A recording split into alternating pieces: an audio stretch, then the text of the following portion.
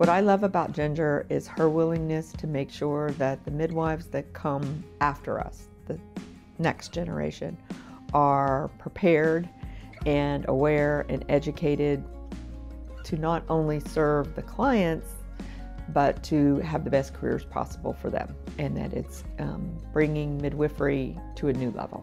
Ginger has so much knowledge in the whole industry of birth midwives, birth centers, hospital based practices.